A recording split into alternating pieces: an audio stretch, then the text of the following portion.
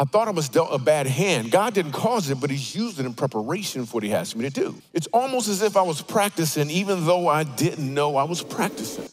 Welcome to church!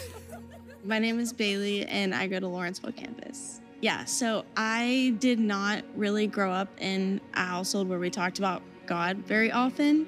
We didn't go to church on Sundays, rarely ever, and my parents ended up putting me in a Christian school when I was in seventh grade, and I ended up graduating from there. But it was always really confusing growing up to know that I wasn't going to church with my family on Sundays, but I was put in a Christian school. I remember times where I would dive really deep into my faith, and then times where I would kind of distance myself a little bit. And I felt like I was just kind of one foot in, one foot out throughout high school. And senior year is when my relationship with God really did dwindle towards the end of it, I just really distanced myself from my faith at that point because I was mad. I was mad at God at the time. I had just come home from Milledgeville and I had been thinking like I need to get connected with the church. I need to start going again. And the next day this friend reached out to me and asked if I wanted to go to C12 with her. I had never heard of it. I didn't know what it was. The first time that I went, it it just felt like it unlocked something, I guess. And I know a lot of people say something was missing, but genuinely that's what it felt like. September of 2022, I fully just dove into it and started really taking my faith seriously. Um, I just felt a push to go that I needed to go on a mission trip, and I kind of ignored it. And I just kept like, no, I'm not ready for that. I'm I'm I honestly felt like I was not worthy enough to go and I just felt like a huge weight on my chest that I needed to go on this mission trip. So my friend and I we both went to Guatemala together and once we came back from that trip meeting people there and just other people at C12 that's when I finally found my community altogether and that was a year ago this month actually. I knew coming back from Guatemala that I wanted to start serving and do growth track. For C12, I'm on new guest team.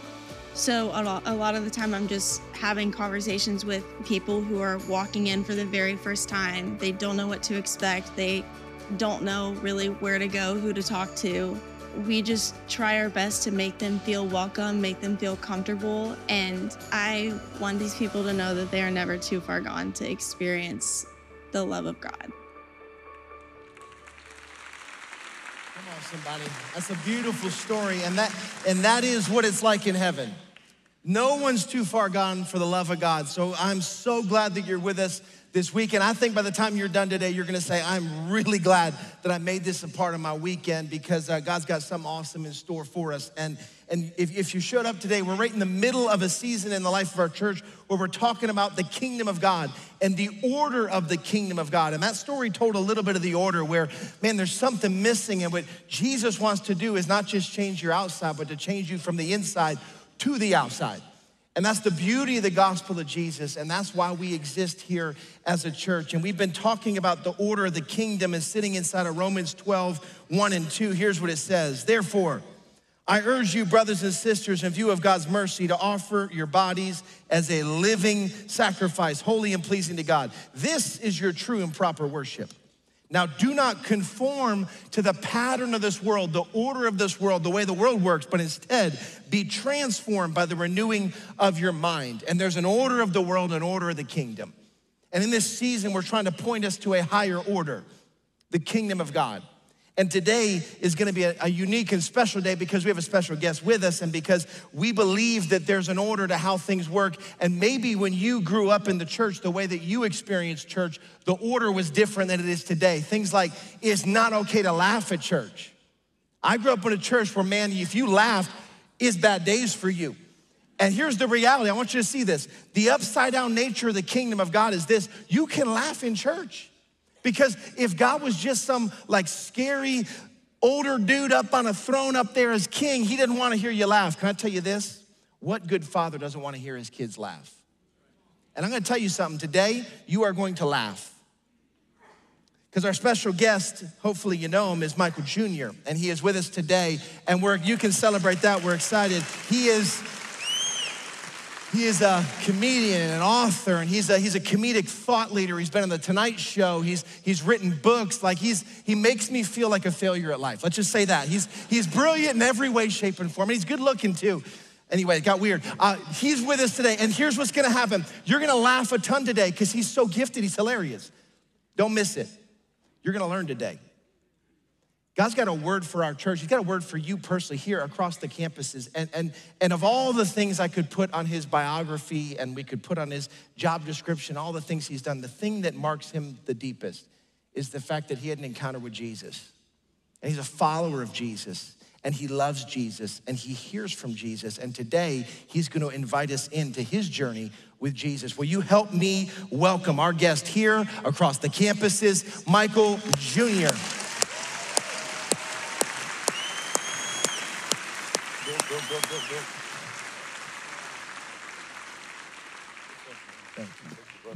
Yo, that is an awesome dude. I like that guy a lot. He's awesome for real. Took me out to eat. What was that place? Hooters. Oh, it was delightful. Amazing. I'm just playing. I didn't go.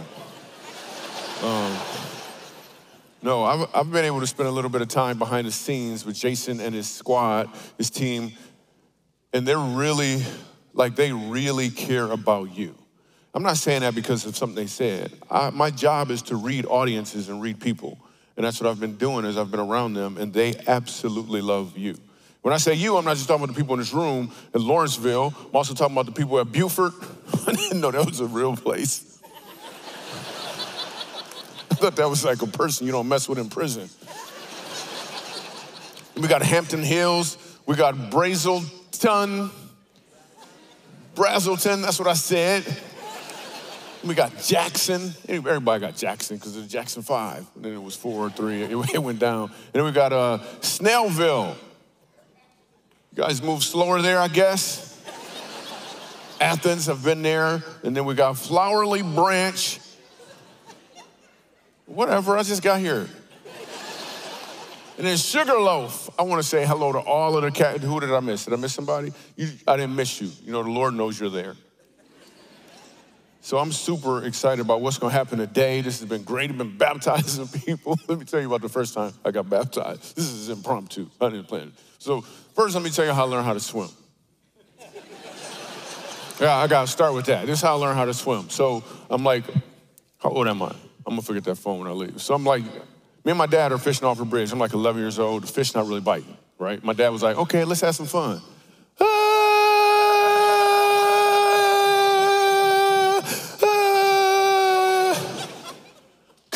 That's how I learned how to swim. Still don't really know how to do it, be honest with you. Fast forward, I'm about to get baptized. I have not been submerged underwater since the bridge. Dude gonna push me, right? I'm like, you know what? I'm not ready yet. I'm not ready yet. I'm not ready. I'm all creative. I got these creative thoughts. I'm like, wait a minute, it's a white dude. He got on white sheet. I don't know if this is right. I don't know if this is right. I'm like, you push me again, it's gonna be trouble in the water. And when they baptize you, what did they say? In the name of the Son, the Father, the Holy Spirit. Dunk you in the water. I was reading in the Bible that Jesus got baptized. Well, what did they say to him? It was like you, your daddy, and your best friend. I don't know what. I remember getting baptized. But that was long. I got baptized like, I gotta first tell you my church experience. When the first time I ever went to church, I'm seven years old, and church was miserable. By the way, there's three verses of scripture that I'd love for you to write down because they're going to apply to what we talk about today. So if you can write them down, I think they're gonna pop in a new way as a result of what happens today. Jeremiah 29 11. And then there's John 10 27. And then also 3rd Romans 4. just check it, just check it. Somebody just wrote it down. All right, 3rd Romans, I heard that. That's a good one. There's no 3rd Romans, people. And the last one is uh, Revelations 3.20. So write those down. I think they'll pop in a new way as a result of what we talk about today. So I'm seven years old, and my grandmother forced me to go to this church. I don't want to go to church. Church was miserable. You don't understand. My shoes, I was so uncomfortable at church. My shoes were like three sizes too small. But my grandmother had this thing called a shoehorn. So if your foot don't fit, now it do. The church lasts like six hours. So my toes is balled up for six hours. Then we go in the basement and eat a sandwich and come back up. Like that was halftime or something. My clothes were so tight. My shirt, every Sunday I wore a white, a white and brown shirt. It was so tight. Actually, it was just white, but the buttons were so tight that the. It was miserable. I go to, I walk into this church, I'm seven years old, and this, this dude is up on stage and he is mad at everybody. This is what I thought from seven years old. He looked like he's mad, and I thought he was mad because of the phlegm he had caught in his throat. Because at the end of every sentence, he would try to get it out, but he couldn't. He'd be like, The Lord said, uh, act like you're. I'm like, Grandma, he need to gargle or something, Grandma. And he had a Bible in his hand. He kept playing like he was going to throw it at people. He'd be like, the Lord, and everybody gets scared. He'd be like, hey, man, hey, man. I realized now they were saying amen. I didn't know. I was seven years old. One time I went to church, there was a dead body in the front. Nobody explains to a seven year old Michael Jr., it's a funeral, it's not church. I'm thinking, yo, that's how they roll. Like every few weeks or so, they bring a dead body in as an example or something. The dude on stage will yell at us like we did it. I asked my grandma, I was like, Grandma, what happened to the man in the box? What happened to the man in the box? Her whole explanation was, he in a better place. I'm like, what kind of box did he live in before?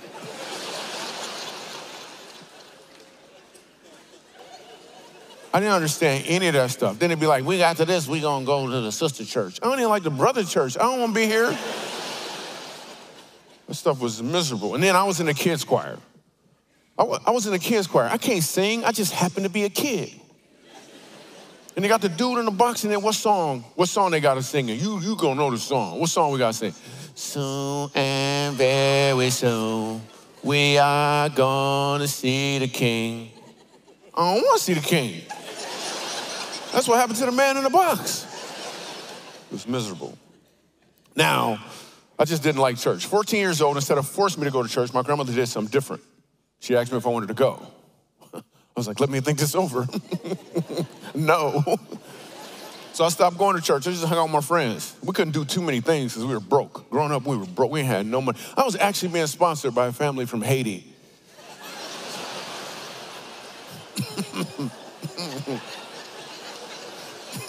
yo, that's a funny joke, man. Some Christians don't know what to do with that joke.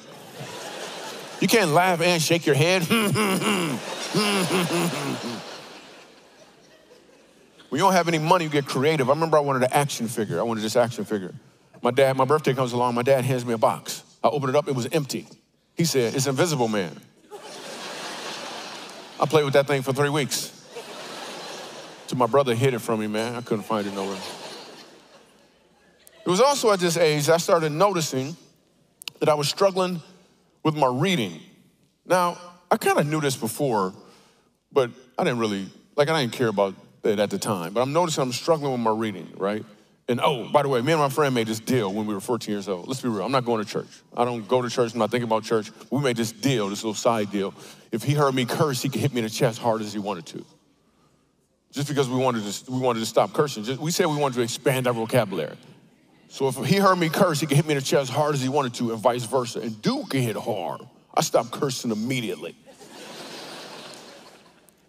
So we made up that deal, and we played other violent games. Remember the game Slug Bug? If you're from the East Coast, they call it Punch Bug. Here's how the game works. You see a Volkswagen Bug, you get to hit your friend. Those are all the instructions. In my neighborhood, they would add to the game. You ever play Uppercut Fire Truck? What about minivan body slam? You all ever play that game? There's always one crazy dude in the group who'll make up games on the spot, like hit you in the throat tall building. You play too much, man. So, as I mentioned, when I was about 14 years old, I noticed how much I was struggling with my reading and compared to other kids. Like, I just couldn't read as clearly as everyone else. I read fine now, by the way, like the signs over the doors that say excite, I could read that. But I used to struggle with my, I couldn't sound words out phonetically, so my mind would start to scramble. I'd look at the font size, the color, the positioning, what's in front of it, what's behind it, how people are responding to the word. I came up with seven different ways to look at a word to determine what the word was. Then I got really good at it to the point in high school, people didn't know I wasn't really reading. I was just working it out really, really fast. Now, as an adult, I read just fine. but I still have this ability to look at words and people and situations seven different ways almost immediately. In fact, it's the primary place that I pull my comedy from. So that very thing from my past that looked like it was a handicap, I thought I was dealt a bad hand. God didn't cause it, but He's used it in preparation for what He has me to do. It's almost as if I was practicing, even though I didn't know I was practicing. Let me say this again so you can hear what I'm saying. The fact that you never met your dad before, your parents were divorced, your mom was alcoholic, you were molested as a child, you were raped. God did not cause that, but He'll use it in preparation for what He has for you to do. Chances are you've been practicing. Maybe you didn't know you were practicing. I'm here right now to let you know you've been practicing. And for a lot of you guys, it is game time. But you got to be able to hear the coach's voice. So as a result of my practice, I find funny everywhere. It just shows up. I'm at the airport. This cool little white kid walked up to me, asked for an autograph. I was like, cool, what's your name, buddy? He said, I'm Tanner. I was like, no, you're not. You are white as can be, buddy. There you go. There you go. People ask weird questions. Michael Jr., where are you from originally? Originally, huh? Well, I was conceived in Michigan. Yeah, before that, I was with my dad. Then there's a swim competition, right? And uh, and I won, which is crazy, right? Because I forgot how to swim now. It's the craziest thing, man.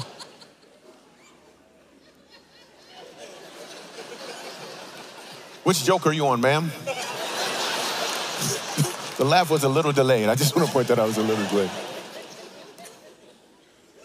So now I have this ability to find funny. I'm just gonna do this joke. It popped in my head. I feel like I'm supposed to do it.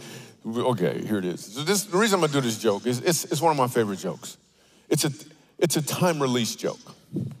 Some of you guys are gonna get this joke immediately. Some of you anywhere from seven to 14 seconds later. A few of you, not today. It's okay, that's just where you are. It's early for you. You was out last night, whatever the case is, right? So here's what's gonna happen. I'm gonna do the joke and I want you to enjoy the joke, but then I want you to listen for the pockets of people who are getting the joke at different times. It's gonna cause you to giggle all over again. It's the joke that continues to give. Here it is. I'm thinking about opening up some restaurants in the north. Uh, probably gonna call it, probably gonna call it uh, African American Barrel. It's probably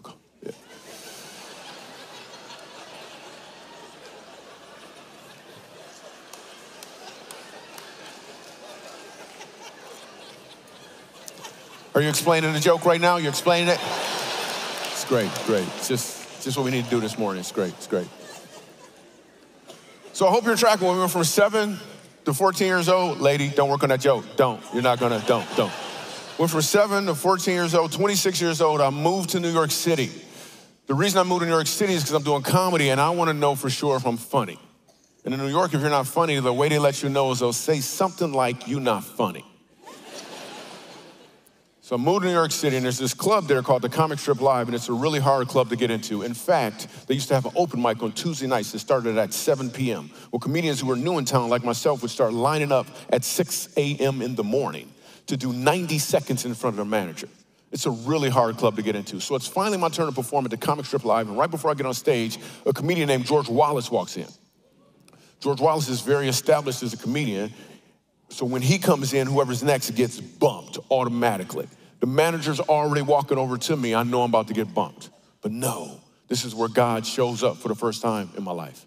Well, this is where I noticed him. So the manager says to me, Listen, Michael Jr., uh, George Wallace is here. Would you like to go on before him or after him? That never happens. That never happens. I was like, Before him, please. So I go on before George Wallace and I got New Yorkers laughing, but not only are they laughing, he comes in the room and he's laughing as well. After the show, there's a bunch of comedians that are asking him questions. He leaves them and he walks over to me. And he says, You know what? You're really funny and you're clean. He said, Let me ask you a question. He's like, Why don't you curse? I was like, I don't know. What if my grandmother walk in or something? my grandmother wasn't coming to New York, let alone a comedy club. What was I gonna say? My friend might hit me in the chest? I'm a grown man. I didn't have any reason not to curse. I just didn't curse at the time. It was really God setting me up. So he says to me, You're funny, you're clean. I'd like for you to do a show with me and my best friend. I didn't know who his best friend was. I'm pumped and excited. Find out later his best friend is Jerry Seinfeld. We did two shows together. I got two standing ovations. I rip. I'm like, yes, I'm the man. After the show, Club manager approaches me. And he said, Mike, you had some great sets, really funny stuff. Let me ask you a question. He said, um, would you, uh, would you like to go to church with me this weekend? I was like, church? I was like, man, back up. You're making my feet hurt. I don't want to go to church. So let me pause for a second in the story. I actually did have almost like a conscious, subconscious thought of back up, you're making my feet hurt. Why would I have such a thought? Because remember, when I was a kid going to church, my shoes were actually three sizes too small, and I'd sit in church all day. So I had built up a negative neural association that said church equaled pain. But I wasn't aware enough. I wasn't curious enough about why I didn't like something Therefore, I continued to run from God or stay away from Him, assuming it was the people as opposed to the lie that I believed unknowingly.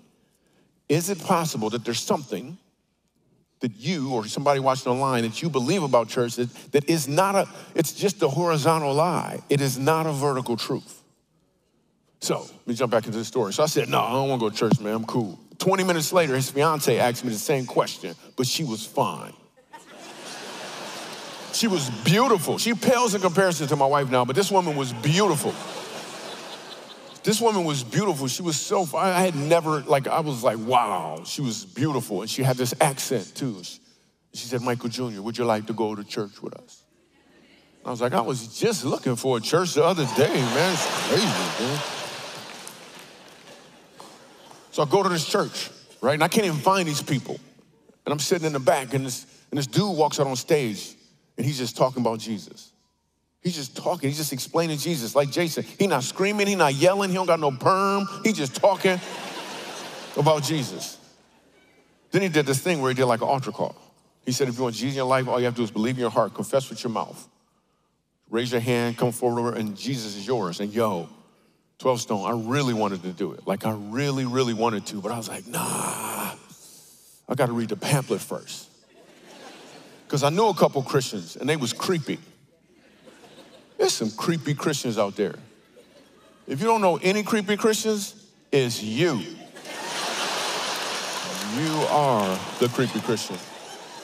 Your friends know one. So I told myself, no, I can't just, I'm not just gonna give my life over. I don't even know what that means. And so I told myself I'd read the, I gotta read the pamphlet first. Like, so I told myself I'd read the Bible first. I didn't even have a Bible. I didn't know it was that big.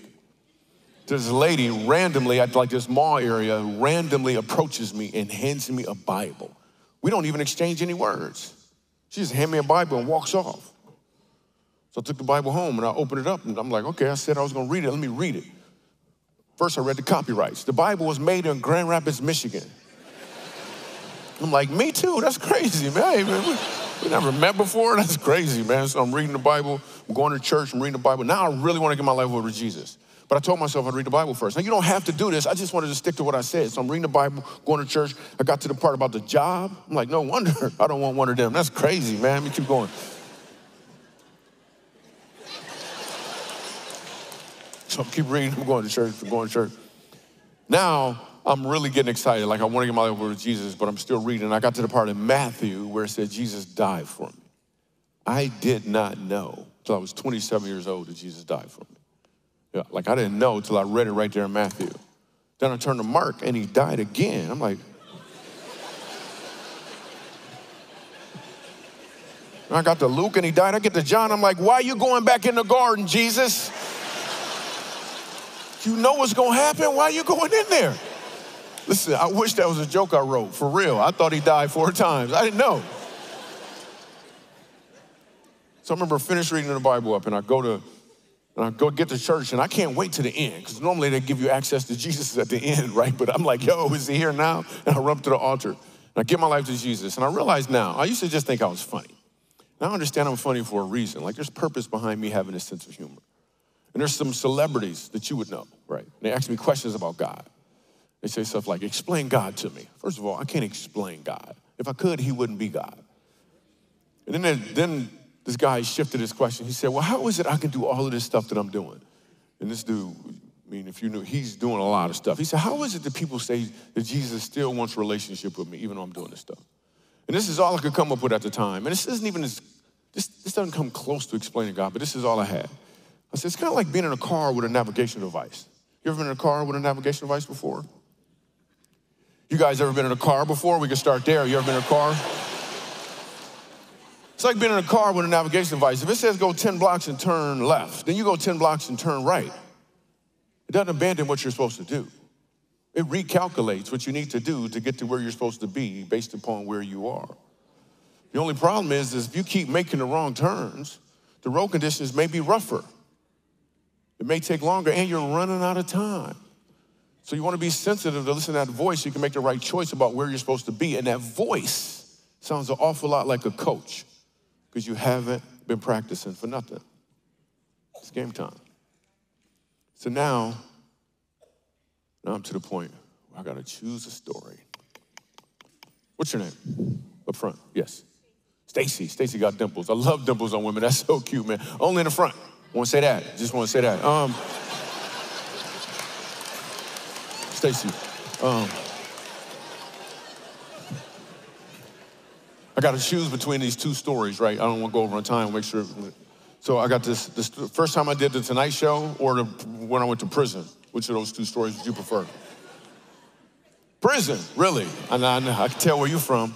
See what's going on. See what's going on. It's too bad. Doing the Tonight Show. Anyways, so I'm gonna try to squeeze them both in. I don't think I can. Okay. So New York was too expensive. It was way too expensive. So I, I met Jesus. So I feel like I'm supposed to move to California because it's too expensive in New York. My cousin had a couch. He said if I can get to the couch, I can live on his couch. It's fine. By the way, there's a whole story I just told you. I was homeless living in my car. I talk about this in my book, but I'm homeless living in my car. So I moved to California. There's a comedy club in California called uh, the Comedy and Magic Club. It is probably the best club in the country. It's so prestigious, I can't get inside the club. It's just, I can't. But George Wallace calls me up and says, Hey, do you want to go to the Comedy Magic Club? I was like, yes. So he takes me to the club. He can't get me on stage. He can only get me in the club. After the show, he takes me into the green room. In the green room are some soldiers in comedy. There's Jay Leno, there's Garry Shandling, there's George Wallace, and I'm sitting there nibbling on fries with these dudes. Now, the reason they had this big spread of food, all sorts of food, but I'm only eating french fries because I actually don't feel like I belong in the room. So I'm just nibbling on fries. And at the time, they're working on a joke. Some of you guys may remember a football player got hit in the eye with a flag, and he was suing the league for $400 million. And now Jay Leno and all of these guys are working on that subject because this guy can't see out of one eye. They're working on that subject for the monologue on the Tonight Show. I ain't saying nothing. I'm just happy to be in a room with these guys. But your gift will make room for you. So I'm sitting there and I'm working on a joke. Then it got quiet and they looked at me and I was like, oh, snap this is an opportunity. I was like, all right, let me see if I got this right. He got hit in the eye with a flag. He lost his vision in one eye, and he's suing the league for $400 million. Um, he's not going to see half of it.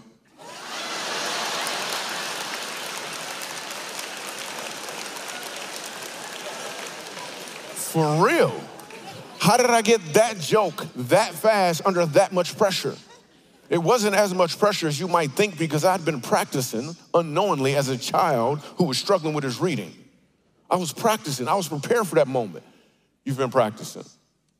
You're prepared for these moments. I didn't even know I was practicing, but I was ready. I'm gonna fly through this next story, okay? Dimples. First time, so I have a nonprofit that we started called Funny for the Forgotten, where we go to homeless shelters and prisons and abused children's facilities. So my first time ever going into a prison, I'm scared for real. I gotta be real with you, I was scared. The warden took my belt. He's like, you can't have a belt, somebody might try to hang you. Can't they just boo me like regular people? Couldn't they just boo somebody? I'm in prison, my pants loose. Like, this is a bad idea, man. I'm just.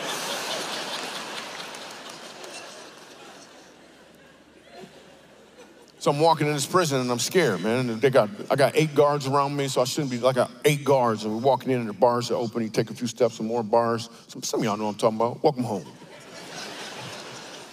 So I'm scared and I'm walking in this prison, man, and the bars, the guards slowly start peeling off one by one. I don't know if they get hit with dart guns. I don't know what's happening. Get to the last set of bars, there's one dude left. He's like, this as far as I go. I was like, well, me too, man. I'm not going in there. But I know God is saying go. I know He's saying go because we bring funny to the forgotten. So I'm, I walk in there and there's all these prisoners, right? And they're in this little, they're all in this circle sitting down. And And there's a hole in the middle of the circle, and I guess that's where I'm supposed to do jokes at. But I need a joke immediately, and I got nothing popping up as I'm walking to the little hole in the middle because that's where I got to do the jokes. And I, if I don't do a joke and probably make them laugh in the first 12 seconds, I don't know what's going to happen. So I'm walking and I'm look, look like I'm cool on the outside, but I got nothing. Nothing's popping up. Seven different ways to nothing. I got four steps left. Nothing's popping up. I had one joke pop up, but I didn't want to start with it. I was going to be like, you know what? You guys are a captive audience. I just want to say that. Didn't feel a peace in my spirit about that joke. So I'm walking, I got two steps left. I still got nothing. I got nothing. I got nothing. I settled this last foot, and for real, sitting right up front is a white dude with a white beard named Moses. I was like, thanks, Lord. When I said these words, the place exploded in laughter. We had an amazing time. I said, Moses, this is what I want you to do. When you see the prison warden, I want you to look him in his eye. You look him right in his eye, and I want you to say, Let my people go.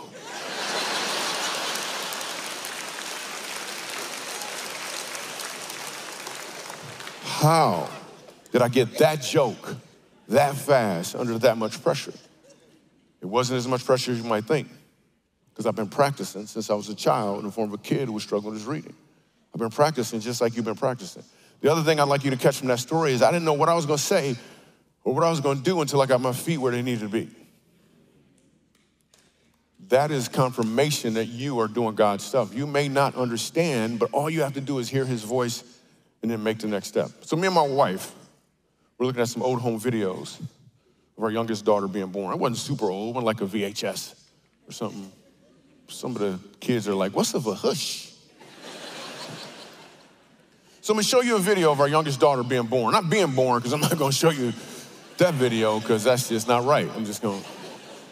So let me set this video up for you.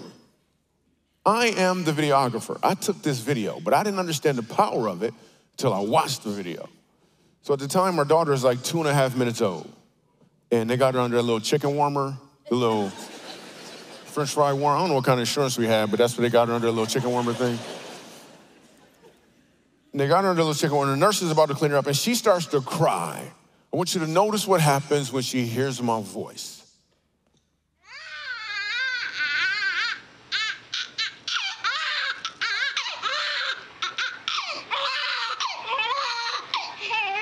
Okay, Portland. Look, I'm right here. It's okay. It's okay. I'm right here. I'm right here. We're doing just fine. It's okay. It's okay. I'm right here. Right here. Yeah. It's okay. It's okay, baby. That's very powerful. Now, it's like seven, maybe seven and a half minutes later, the nurse is done cleaning her up and she starts to cry again. I speak up and she stops crying again. But I want you to notice what happens when I tell her I love her. Portland, I'm right, Portland, it's okay. It's okay. It's good. It's good. It's good. I'm right here. I'm right here. I am right here. I love you. I love you. I love you. Yeah, I'm right here. I'm right here. It's okay. It's okay. So listen.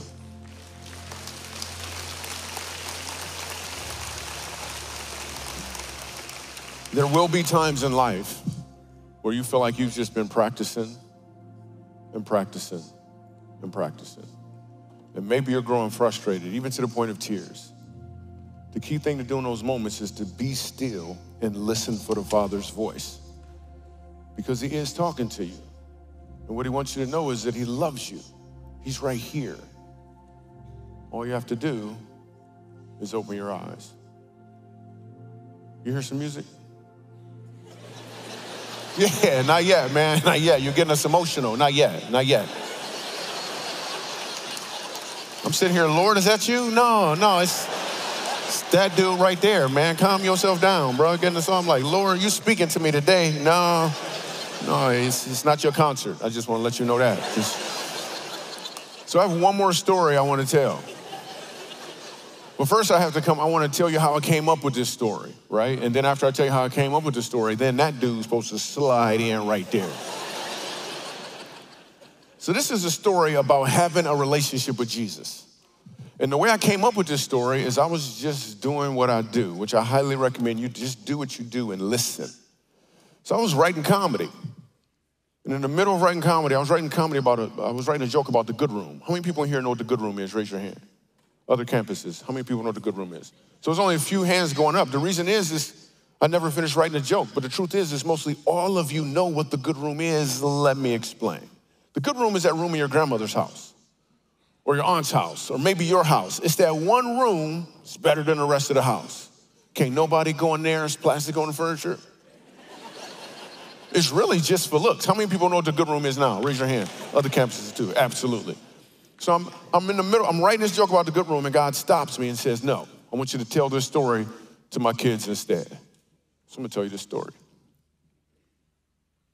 Now would be a great time. Just jump in there if you want to. That'd be a great time.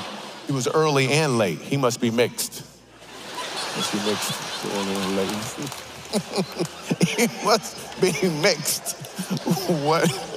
Come on, y'all know what that is, right? Y'all know, because, yeah, you know, you know.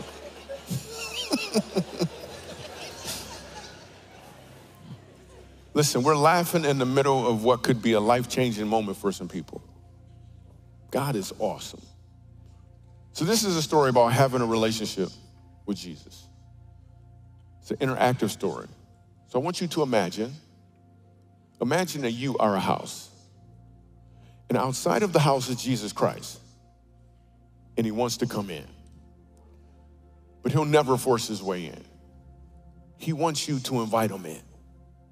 And the reason some people in this room, the reason you haven't invited Jesus into the house is because you cool, everything seems fine the way it is. So it would seem. Whenever you need something, whenever something happens, you walk up to the door, you crack it open, you say a little prayer, you tell them what happened, you close the door, and you go back into the house. But that's not a relationship at all. How can you hear his voice under those circumstances? How can you truly utilize the practice under those circumstances? And the reason you won't let him into the house is because your house is a mess. And you think you need to get it together or clean it up a little more first. You got to get things right. There's some stuff you want to do first. There may be drugs or pornography in the house or relationships. You brought other people in your life thinking that somehow maybe they could help you clean it up. But they can't. The only one who can clean it up is standing outside the door wearing an apron with a bucket in his hand, waiting on you to truly open the door. Then there's other people in here watching right now. You used to have Jesus in the whole house. But whether you realize it or not, you've moved him to just one room in the house the good room. Have you ever noticed how the good room, most of the time, is the one right up front with the big window? So when people look in, they think the whole house is clean. But it's not. It's just that one room. So when they hear about you coming to church, they think the whole house is clean. But it's not. It's just that one room. You quote scripture, but it's just that one room. You give money, but it's just that one room. You got a Bible verse tattooed on your body. It's just that one room. Jesus wants access to the whole house. And I'm telling you, if you would just open this door and let him in, he'll show up with a contractor named the Holy Spirit and they will make sure the house is functioning the way it was intended to. But none of this happens if you don't open a door because he will not, he will never force his way in. Other people may have tried to force him in, but they can't. He'll only come in if you invite him in. So, if everyone in here, if you could just close your eyes and bow your head at every campus. If you know this is you that I'm talking to right now, and you need to invite Jesus into your house, whether it be for the first time or to give him full access to the house. I'm gonna you to do something really simple. On the count of three, I just simply want you to put your hand in the air. Don't overthink this. But if this is you and you need to invite Jesus into your house, whether it be for the first time or to give him full access to the house again, every campus, on the count of three, I simply want you to put your hand in the air. One, two, three, nice and high. Praise God, praise God, praise God. All right, go ahead and put your hands down and then look up at me. First thing I want to say to you is I'm proud of you. And listen, I don't, more times than not, God will give me a number of how many times I need to repeat that phrase because there's some people in the room watching right now who have never received that from a father's voice before. So I'm going to repeat that phrase. And this isn't just for the people who raise their hand, but I'm going to repeat that phrase. And what I want you to do right now is simply work to receive it from a father's voice. I am proud of you. I am proud of you. I am proud of you. I am proud of you. I'm proud of you. I'm proud of you. I am proud of you. I am proud of you. I am proud of you. I'm proud of you. I'm proud of you. I, I am proud of you. I'm so proud of you. Yes, you, I am proud of you.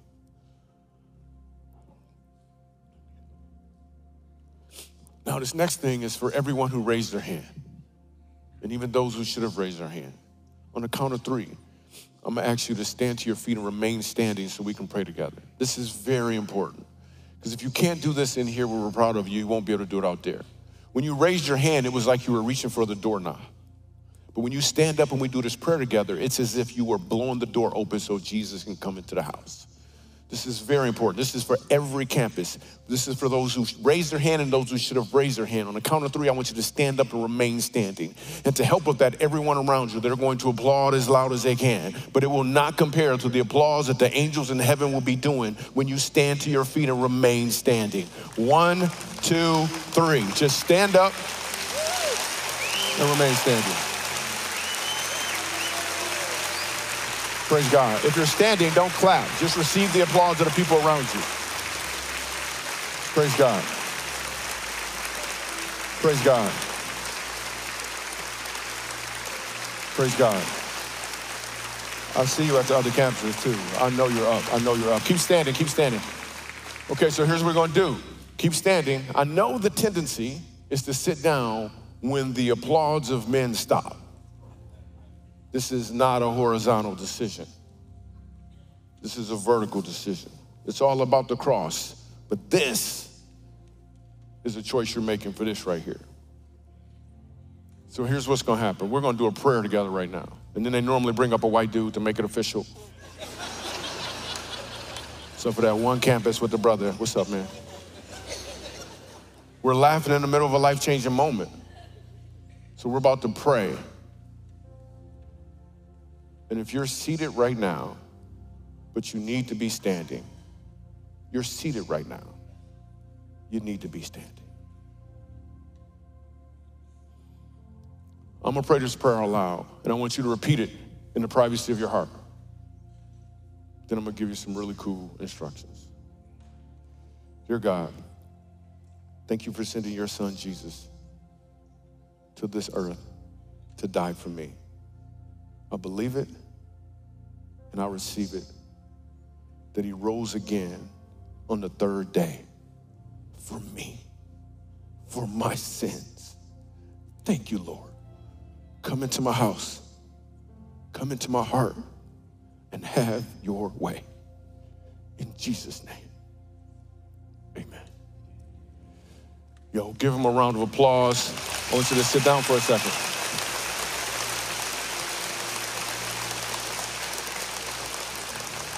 You can, you can be seated. I'm gonna give you one more thing I want you to do. Now, this is for everyone who raised their hand.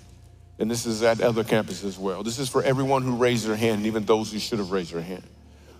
I want you to do something different than what you've always done, because I don't want you to continue to get what you've always got. You just made a big decision. So normally what happens is we come to church, we come in, we sit down, we get up and we leave. For those who made this decision for Jesus today, I'm asking you to do something different. I don't, I'm not gonna tell you specifically what to do, but I want you to just break the pattern of what you've always done. One thing I love to have people do is when we dismiss and everyone else is walking that way, what I want you to do is I want you to come this way. And what I want you to do is I want you to actually grab one of these pins and fill out your name and your information so this church, which is a legit church, can be in contact with you. It's not so much about them being in contact, it's about you being obedient. And here's what I mean by that. Why would I want you to practice this? Why would I want you to do this here? Why would I want you to come this way while everyone else is going that way? Because, because of the decision you made, God will speak to you when you leave this place. And chances are he's going to ask you to go in a different direction than all your friends are going. And you would have already practiced it right here in this place. So listen, regardless to what's going on, because you'll be walking this way and people might not hit you because they're going the other way. Out there, the same thing will happen. You'll be thinking, I need to pick up my kids. I need to get something to eat. The same thoughts that you'll have out there will show up in here. And if you can make the decision right now in his house, regardless to what everyone else is doing, to come down here and finish the process, watch how much more God will finish the process he's already started today. So, when we dismiss, I want you to take action. Pay attention to those thoughts in your mind and saying, No, I don't need to. This, that, no. Be obedient and watch what he's going to do.